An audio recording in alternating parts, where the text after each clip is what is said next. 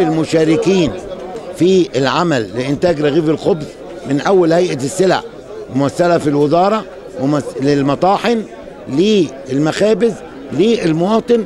أن نضع نظام واضح عند حضرتك تقريه نحطه على الإنترنت عشان الناس تبقى عارفة. وجبة هيئة السلع إيه؟ واجب المطحن إيه؟ واجب المخبز إيه؟ ولا يوجد معنى لبضاعة الأمانة. فإذا المطحن كان بيستهلك 10 طن قمح في اليوم هيدفع ثمنهم قبل أن يطحنهم. ثم لما استلم منه الدقيق هدفع ثمنه قبل ما إيه؟ أخبزه. ثم المخبز لما ياخد الدقيق ويخبزه ياخد أجره في نفس اليوم اللي عمله.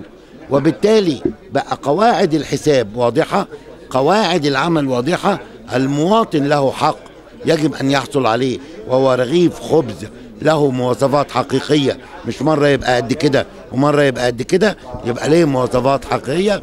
اذا اخذا في الاعتبار ذلك تم وضع عقدين مهمين.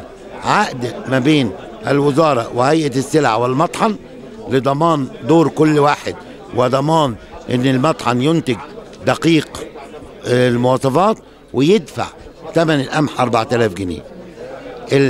ما...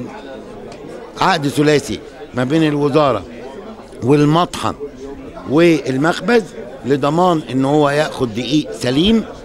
المخبز هنا عشان يشتغل معانا هيدفع تأمين ثلاث أيام.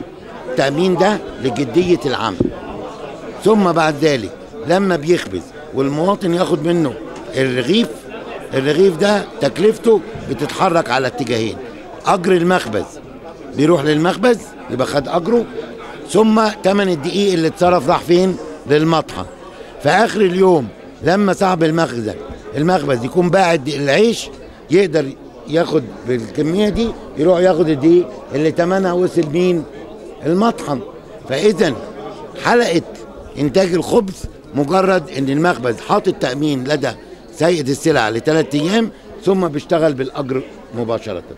ال- المطحن حاطط تأمين ثلاث أيام قمح ولكن بيأخذ ثمن الدقيق اللي اتاخد منه فوري وعندما يستعيد القمح يدفع إيه؟ ثمنه الأمور واضحة وبالتالي دور الوزارة هنا التأكد من سلامة الأقماح الاختبار الدوري للدقيق الاختبار الدوري لإيه؟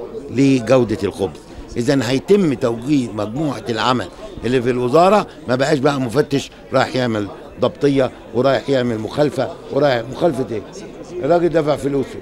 إنما مخالفة تطلع إيه؟ لو هو دافع فلوس وبوظ رغيف العيش. هو خد ثمن الأجر ولكن ما يستاهلش ثمن الأجر. وبعت الدقيق ل- للم- للمطحن ولكن هو ما يستاهلش الدقيق. فلازم يوقع عليه آه، مخالفة والمطحن كذلك إذا كان الدقيق سبب في ذلك يوقع عليه المخالفة.